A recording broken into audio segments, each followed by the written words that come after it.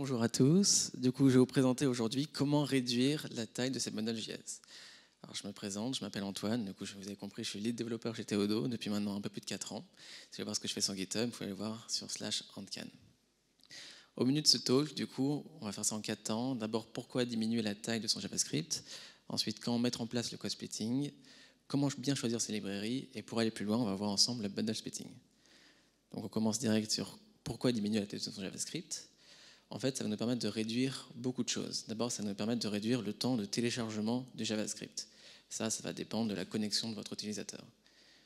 Par exemple, pour télécharger 1 méga de JavaScript, en Wi-Fi, ça va prendre une seconde mais en 3G, ça va prendre jusqu'à 11 secondes. On a un facteur 10 entre un Wi-Fi et euh, la 3G. Du coup, c'est vraiment euh, très impactant de réduire la de JavaScript à ce niveau-là.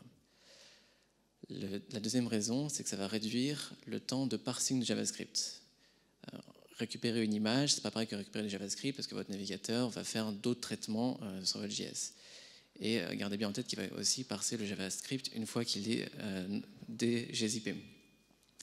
Du coup, pour parser un méga JavaScript, là on a le temps selon euh, le device de votre utilisateur. Ça va dépendre du device, euh, du navigateur et du CPU euh, que le navigateur peut, peut, prendre pour parser JavaScript.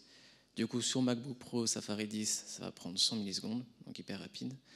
Par contre, sur Galaxy A3, sur COM55, ça peut prendre jusqu'à 22 secondes. Donc là, on a carrément un facteur 200. Et finalement, ça va nous aider aussi à réduire le temps de compilation et d'exécution qui arrive après le parsing. Une autre raison, c'est évidemment de sauver la planète. Donc, je ne sais pas si certains d'entre vous ont vu le talk de Romuald ce matin, euh, c'est exactement la même chose. En fait, on va consommer moins d'énergie bah, pour transporter le JavaScript jusqu'à votre client, et votre client va consommer moins d'énergie pour parser le JavaScript. À Théodo, ce qu'on conseille, c'est d'avoir moins de 200 kg GZP pour récupérer euh, le JavaScript pour afficher une page. Donc on a vu pourquoi diminuer la taille de son JavaScript. Maintenant, on va voir comment. Et on va étudier la technique du code splitting. Donc on va faire ça sur une de mes applications de test. C'est une single page app que j'ai codée en React Redux. Et grosso modo, j'ai une page de login et une page principale où j'affiche des tableaux de data et des modales. Euh, mon exemple est en React Redux, mais euh, tout ce dont je vais vous parler est valable pour tous les librairies JavaScript. Vous avez un projet en Vue ou en Angular, ça va marcher tout pareil l'état initial du chargement de ma page principale. Du coup, là, vous pourrez reconnaître le waterfall euh, de Chrome que je pense que vous connaissez tous. Donc, ma page sur MacBook Pro sur Chrome se charge en 1,3 secondes. Sur ces 1,3 secondes, on a notamment 500 millisecondes de téléchargement, que vous pouvez voir en bleu ici, et ensuite 350 millisecondes de parsing, compilation exécution de JavaScript. Alors, la première chose que je me suis demandé, c'est qu'est-ce qu'il y a dans mon bundle? Du coup, j'ai regardé mon package.json, je fais des recherches sur Internet pour comparer la taille de tous les packages que j'avais dans package.json. C'était hyper fastidieux, jusqu'à ce que je trouve l'outil idéal qui est Webpack Bundle Analyzer. Webpack Bundle Analyzer, c'est un petit plugin Webpack du coup, qui va vous permettre de visualiser très exactement ce qu'il y a dans votre JavaScript. Donc ça va faire une carte comme ceci. Donc vous allez voir euh, une couleur par chunk.js que euh, Webpack va générer. Du coup, là, on voit qu'on en a à peu près 8. On a un doré, un bleu, etc et l'air de chacun des chunks va être proportionnel à la taille du chunk. Donc on voit que le doré, par exemple, représente la moitié de mon JavaScript total.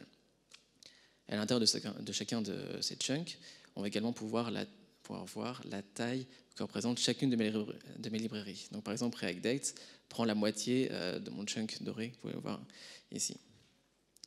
Donc je vais installer Webpack Bundle Analyzer sur mon euh, projet, et du coup voilà ce qu'il y a dans mon bundle.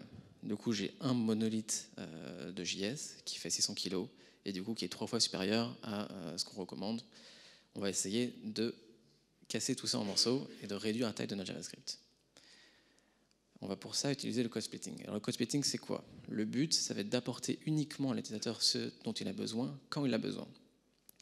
Pour faire une métaphore, c'est comme si vous allez au restaurant, vous commandez entrée, plat, dessert, et là, pour l'instant, euh, mon serveur, il apporte sur une grosse assiette l'entrée, le plat et le dessert. Donc il va prendre du temps pour transporter l'assiette parce qu'elle est énorme et très lourde. Il va prendre du temps aussi pour la mettre sur la table parce qu'il va falloir qu'il pousse les assiettes, etc. En fait, ce qui va être plus pragmatique, c'est qu'il apporte d'abord l'entrée, ensuite le plat, ensuite le dessert. Et là, c'est ce qu'on va essayer de faire avec notre JavaScript. On va découper notre JavaScript en petits morceaux et on va faire en sorte que euh, le, client aille chercher uniquement ce dont il a besoin au moment euh, auquel il a besoin. Donc schématiquement, ça donne ça. Donc à gauche, euh, en rouge, vous avez sans bundle splitting. Vous avez votre code qui est regroupé dans un seul chunk. Et à droite, vous avez avec bundle splitting, vous avez votre code qui est, qui est regroupé dans plusieurs chunks, avec un chunk principal que vous pouvez voir tout en haut qui va être téléchargé sur chacune de vos pages. Alors la base du code splitting, c'est les fonctions d'import de Webpack. Du coup, vous connaissez l'import qui est en rouge, c'est l'import statique. Alors là, qu'est-ce qui va se passer quand Webpack, par exemple, dans votre code, vous allez importer Lodash, il va prendre votre code, il va prendre le code de Lodash, il va concaténer deux pour créer un gros fichier. La fonction qui va nous permettre de faire du code c'est l'import dynamique, donc l'import euh, avec des parenthèses après, qui lui est asynchrone, qui va ramener une promesse. Et du coup, si dans mon code, j'ai un import dynamique de Lodash, euh, là, Webpack va créer un chunk à part avec le dash et toutes ses dépendances dedans, et va remplacer l'import dynamique par un call asynchrone vers ce chunk-là. La chose la plus naturelle pour commencer, c'est de faire du code splitting par page. Quand j'arrive sur une page, je n'ai pas besoin d'avoir le JavaScript de mes autres pages. Du coup, c'est ce que je fais. Donc là, vous pouvez voir que la seule chose que je fais, c'est que je remplace tous mes imports statiques par des imports dynamiques. Du coup, avant mon code splitting par page, j'avais mon monolithe de 600 kg. Et après mon code splitting par page, j'ai ça. Donc j'ai perdu 30 kilos sur mon chunk principal et on voit que j'ai des chunks qui sont créés qui correspondent à du JavaScript qui est utilisé sur les autres pages. On peut aller encore plus loin évidemment parce qu'on est encore très au-dessus de notre seuil. Donc on va analyser ce qu'il y a à l'intérieur de notre chunk principal. Et on voit qu'on a une librairie qui prend beaucoup de place à l'intérieur, c'est Highlight.js. Highlight.js, c'est une librairie qui nous permet de faire de la coloration syntaxique sur du code. Seulement moi, je l'utilise euh, sur mon application, comme vous le voyez ici, dans une modale.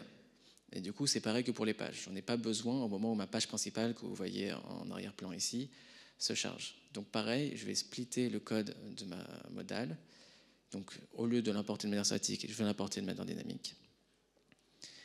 Avant, du coup, on avait notre monolithe de 570 kg, et après, on a un nouveau chunk qui est apparu, qui est le chunk bleu que vous voyez, qui fait 200 kg, et c'est 200 kg qu'on a perdu sur le chunk doré que vous voyez, qui fait plus que 360 kg. On a encore au-dessus de 200 kg, on va encore continuer.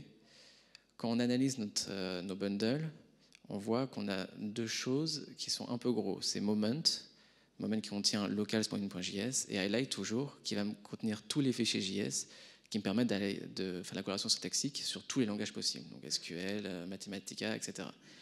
J'en ai pas vraiment besoin sur mon application parce que mon application, elle utilise que euh, la langue française et anglaise et j'ai envie de faire la coloration syntaxique que sur nos MacDon. Du coup, on va utiliser le fait que ces librairies contiennent beaucoup de fichiers spécifiques pour importer seulement cela et importer seulement les bouts qui nous intéressent. Donc j'ai importé que les langues françaises et anglaises et que le langage Markdown. Après l'allègement, qu'est-ce que ça donne? Ça donne ça. Du coup, notre bundle principal a perdu 50 kilos c'est toutes les locales de Moment euh, qui ont disparu à part l'anglais et le français. Et le chunk qui contenait euh, Highlight, vous voyez, il est maintenant en troisième position, il fait plus que 10 kg. Là-dessus, on a perdu 190 kg de JS. Donc c'est autant de temps gagné pour mon utilisateur lorsqu'il va ouvrir la modale. On a encore au-dessus de 200 kg. On va continuer notre analyse. Quand on regarde notre bundle, notre chunk principal, on voit qu'il y a des librairies euh, qui sont là, comme React Date, React Select, que j'utilise seulement sur une de mes pages, la page principale. Et pourtant, elles sont présentes dans mon chunk principal qui va donc être téléchargé sur toutes les pages de mon projet. Donc c'est bizarre. En fait, comme tous les développeurs sur tous les projets que j'ai vus, euh, que ce soit à Théodo ou chez nos clients, on a un dossier avec tous nos composants JS. Et on a à la racine de ce dossier un index.js qui exporte tous nos composants. C'est hyper pratique parce que sur euh, nos autres composants, quand on va vouloir importer ces composants-là, on va faire des imports avec des moustaches, on va pouvoir tous les importer en une ligne. Seulement, quand je fais ça, du coup quand je fais mon import avec des moustaches, euh, Webpack il va pas savoir ici par exemple que j'ai besoin que du composant loading. Et du coup il va me dire bah, a priori tu as besoin de tous les components, donc je vais toutes les tous les mettre. Donc en fait mon export global va empêcher Webpack de faire du code splitting.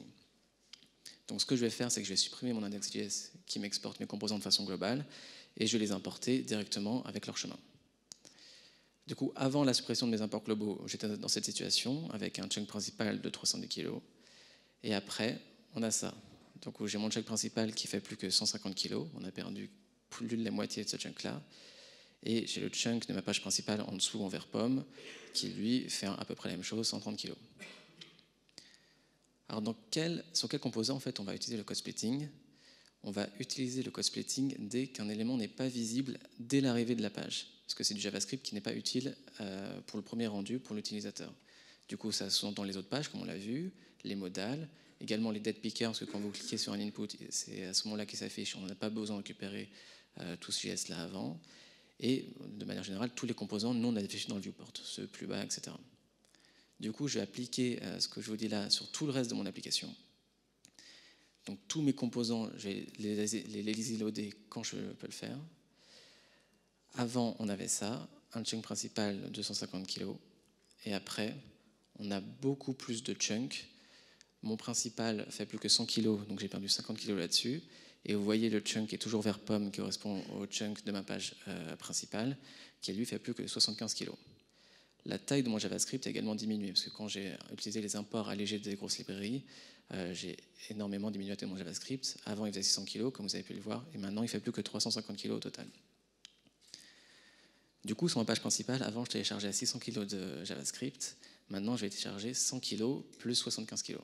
Mais sur les autres pages, par exemple ma page de login, où j'ai pas grand-chose à part un bouton login, je vais télécharger seulement 100 kg de JavaScript.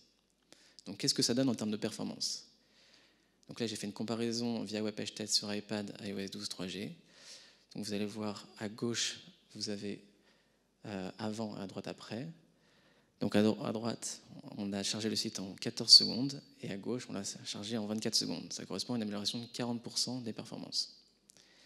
Si on regarde ma page login, donc cette fois, je fais la comparaison euh, sur desktop comme 3G pour que ça aille un peu plus vite. Donc là, c'est du temps réel. Vous allez voir que à droite, elle charge en un peu plus de, 4, un peu plus de 5 secondes, et à gauche, elle charge en un peu plus de 8 secondes. Je ne sais pas si vous avez remarqué, mais il y a quelque chose qui s'est passé. Je vais vous montrer la vidéo. Regardez bien à droite. D'abord, on va voir le header qui apparaît, donc ici, et ensuite le contenu de ma page. Alors qu'à gauche, tout apparaît d'un coup. Ça, c'est grâce au code splitting. D'abord, je charge mon chunk principal qui contient mon header, et du coup, l'utilisateur va avoir un retour beaucoup plus rapidement euh, sur le chargement de la page, alors qu'avant, il recevait tout le JavaScript d'un coup. Maintenant qu'on a vu comment euh, séparer euh, notre code en plusieurs chunks, on va se demander comment bien choisir ces librairies. En effet, j'ai envie de rajouter une page sur laquelle je vais mettre un graphique. Du coup, je me demande comment choisir la meilleure librairie de graphe qui va me permettre euh, de faire des jolis graphes dynamiques, etc., mais qui ne va pas trop impacter, euh, mon JavaScript. Du coup, pour ça, il y a un site qui est super, qui s'appelle bundlephobia.com. Vous pouvez mettre dessus la librairie que vous recherchez. Donc là, par exemple, j'ai pris eChart pour commencer.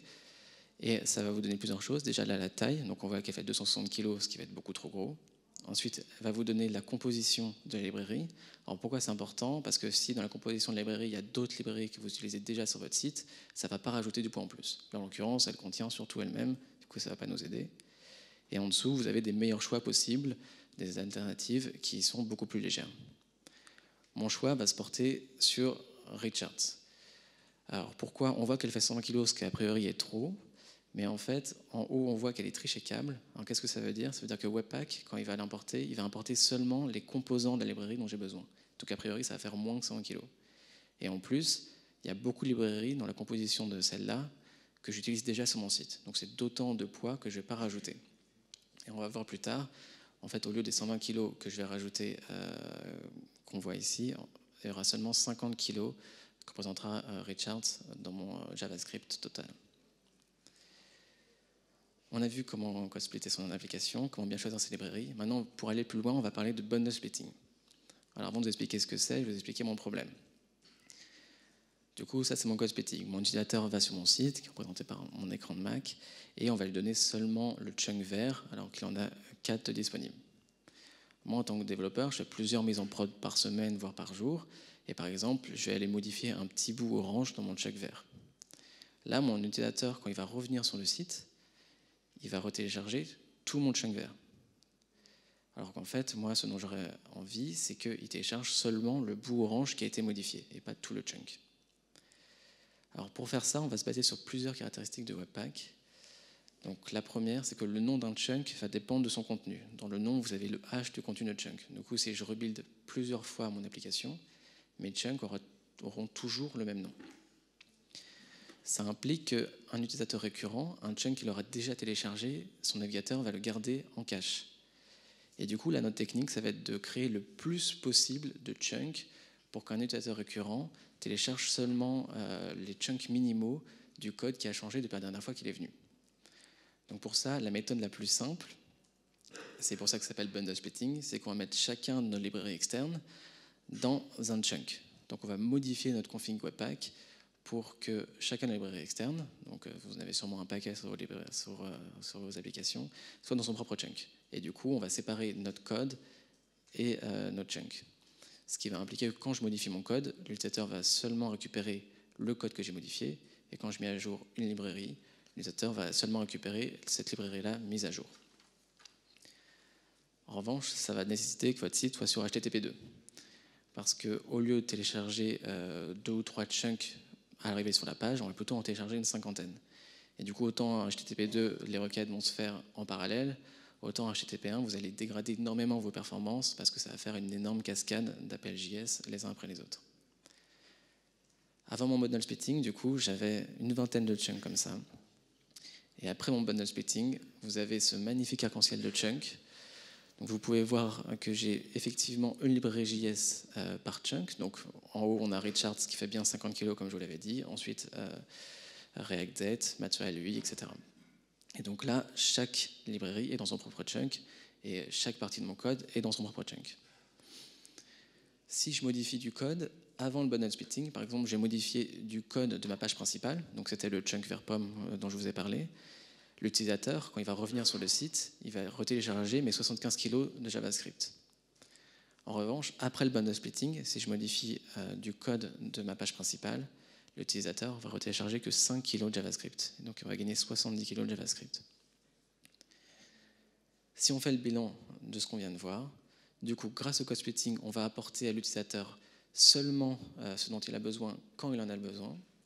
Et grâce au bundle splitting, on va apporter à l'utilisateur récurrent ce qui a changé depuis sa dernière visite. Et donc comme ça, on a optimisé le JavaScript que chaque utilisateur de votre site va télécharger quand il arrive dessus. Pour résumer euh, ce talk, du coup, on va garder son JavaScript à moins de 200 kg pour rendre une page. On va utiliser le code splitting pour chaque composant non nécessaire au rendu initial euh, sur chacune de vos pages.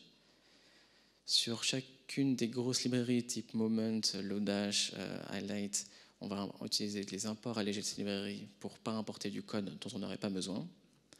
On ne va pas exporter globalement toutes ces fonctions et ces composants pour, pareil, n'importer à chaque fois seulement ce dont on a besoin.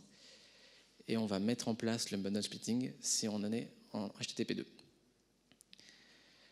Si vous voulez euh, vous entraîner et refaire exactement ce que j'ai fait sur mon application de test, euh, j'ai créé un petit exercice qui va reprendre chacun des gestes dont je vous ai parlé, qui va vous permettre de les implémenter sur une petite application en React Redux.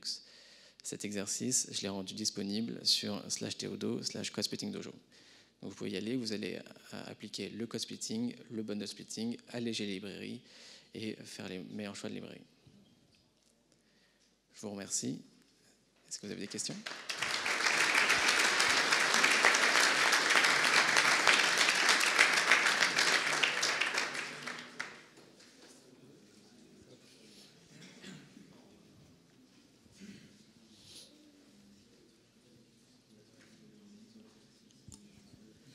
J'ai une question par rapport au bundle splitting. Il y a une pratique courante euh, dans l'univers des applications front qui consiste, quand on build son application, à générer un numéro de version et à mettre ce numéro de version quelque part dans le pass des ressources pour faire du cache killer. C'est-à-dire s'assurer, quand on va mettre la version en prod, que les utilisateurs vont bien venir récupérer la nouvelle version de toutes les ressources. C'est complètement l'inverse de tout ce que vous venez de raconter avec le bundle splitting. Du coup, est-ce que vous avez une reco pour faire cohabiter les deux mondes? Alors en fait, euh, je l'ai expliqué au début des bonus splitting, mais euh, le cache killer, il est géré automatiquement par Webpack. Parce qu'il euh, il va hacher vos chunks avec le contenu. Du coup, à chaque fois que le contenu d'un chunk va changer, son nom va changer, et du coup, automatiquement, ça va faire du cache busting. Du coup, on a votre solution et la mienne en même temps.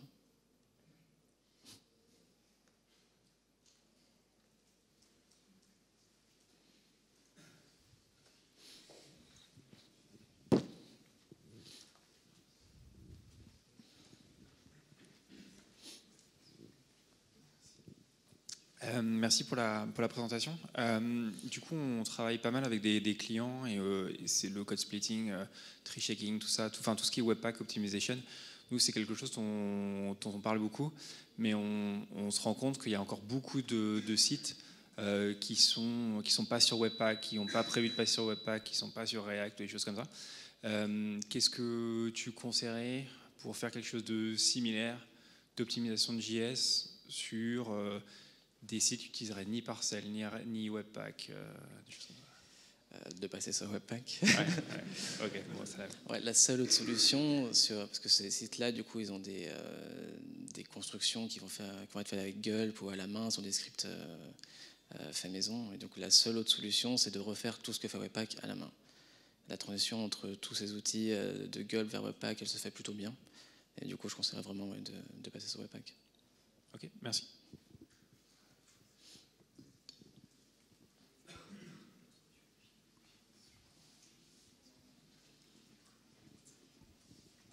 Merci. Euh, ouais, euh, en fait, c'est très différent. C'est un point de vue qui est très différent, le bundle splitting, de, l'approche qu'on a généralement pour dans la performance, qui est on regarde un nouvel utilisateur ou un utilisateur qui revient et on regarde combien de temps met la page chargée.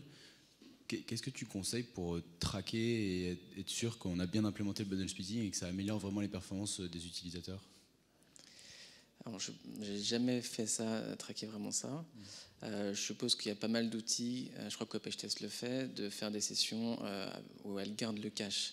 Et du coup, à ce moment-là, tu vas voir sur les vues, les vues d'après que, effectivement le cache est, gardé. Mais dans ce cas-là, il faudrait faire un test où. Ouais, ça, enfin, parce qu'il faudrait que tu fasses un déploiement au milieu de, de ton test, donc ce serait un peu chelou. Il te faudrait un, outil qui garde en cache euh, avant ou après le déploiement. Je ne sais pas si ça existe sur le marché. Peut-être que.